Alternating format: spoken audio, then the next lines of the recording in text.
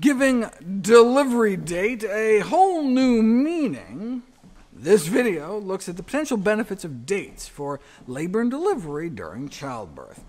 Check it out.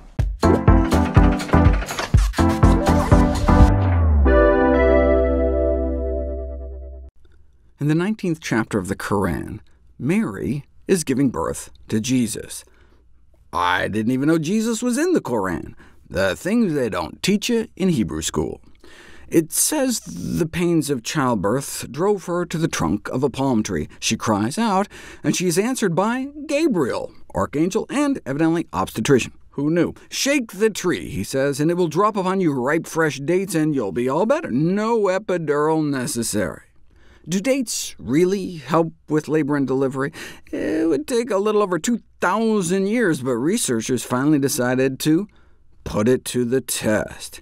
They had some anecdotal evidence that dates might be helping, but they wanted to know for sure whether the addition of date fruit for the last few weeks of pregnancy would reduce the need for labor induction or augmentation. Uh, that's where you give drugs to induce uterine contractions to initiate or accelerate labor.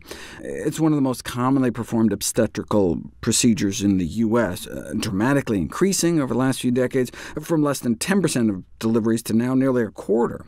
Uh, there are certainly legitimate medical indications, but are often done just for convenience and not necessarily the convenience of the patient, but the provider, who may also have perverse financial incentives and other reasons to want to speed things along.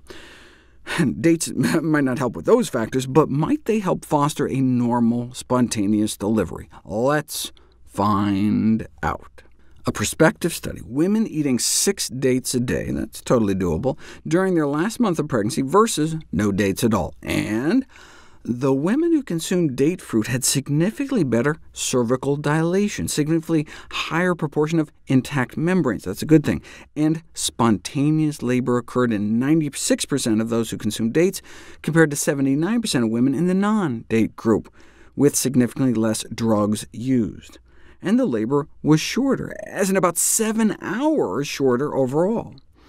Uh, it is therefore concluded that the consumption of date fruit in the last four weeks of pregnancy significantly reduced the need for induction and augmentation of labor.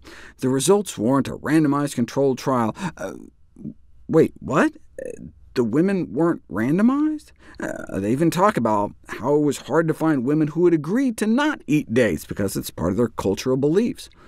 So you can totally imagine how there could be all sorts of differences between the women who ate dates and those who agreed to go without that could account for the findings. Maybe the date eaters were more religious, or, or higher socioeconomic status, or who knows? I mean, yeah, you could argue, you know, what's the downside? Might as well give dates a try, but eh, that's not good enough. I want to know if they actually work. But there had never been a randomized controlled trial until three years later. The effect of late pregnancy consumption of date fruit on so-called cervical ripening in first-time mothers.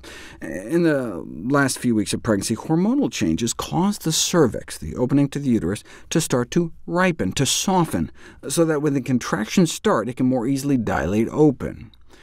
At this stage, the cervix loses its integrated structure, and therefore becomes soft and dilated as soon as strong contractions begin. Um, through a ripe cervix, you can push a baby out with like 20 pounds of pressure per square inch, but if the cervix isn't there yet, it can require more like you know, 200 pounds of pressure. So it goes without saying that cervical ripening before the onset of labor is important if you want a normal vaginal delivery. Uh, the search for a safe, inexpensive, and easy method of facilitating cervical ripening is therefore of great interest. So let's randomize a few hundred women, starting at like the 37th week, to eat about six dates a day, or not, until their first contraction. Uh, cervical ripening is rated with uh, what's called a Bishop score. Uh, normally, a score of 5 or less indicates an unfavorable cervix, whereas 8 or more, and you're good to go.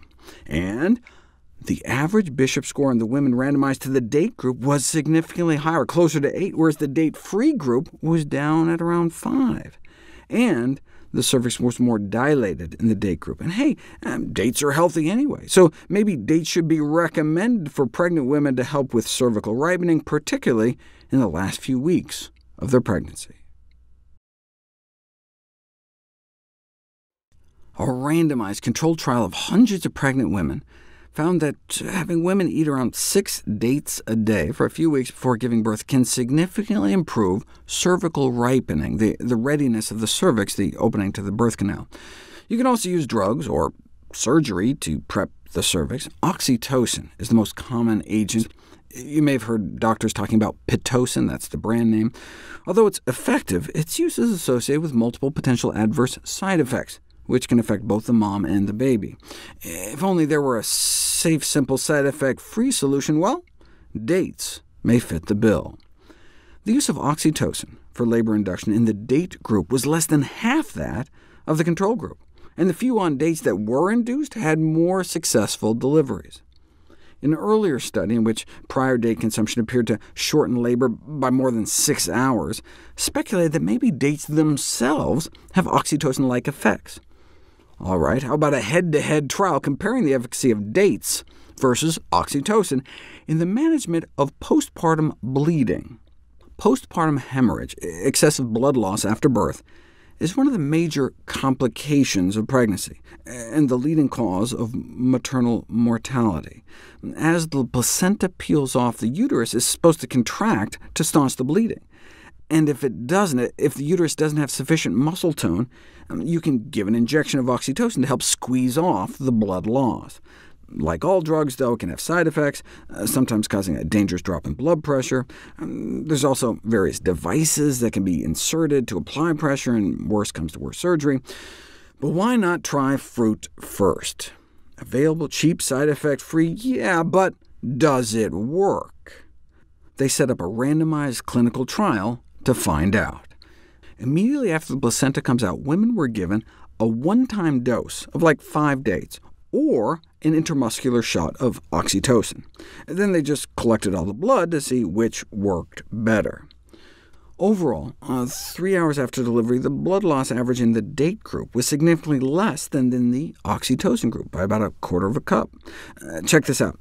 See how the date group was mostly in the lowest category, under two-thirds of a cup of blood loss, uh, whereas the drug group was mostly about a cup or more.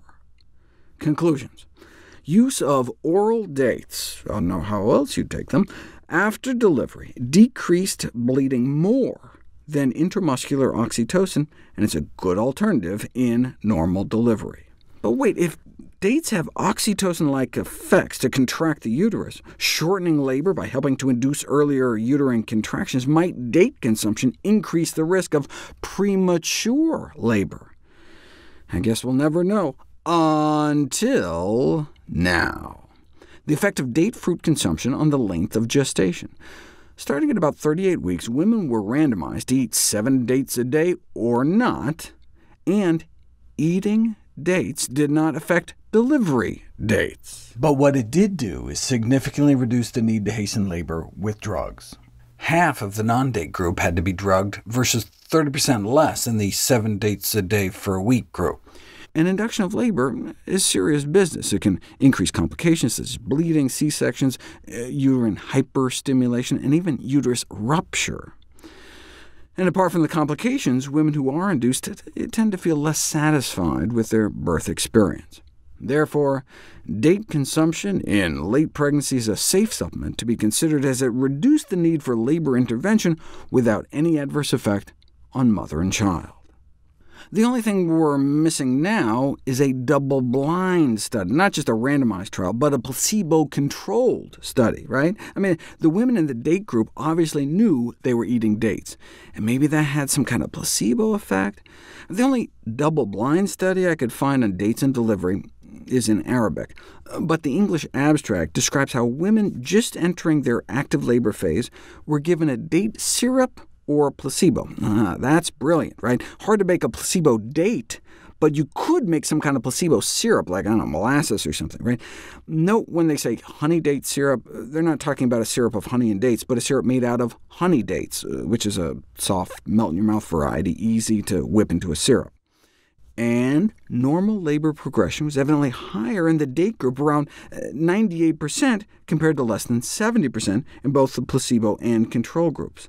And labor duration was also shorter in the date group, like two hours shorter. So on your due date, maybe we should give dates their due.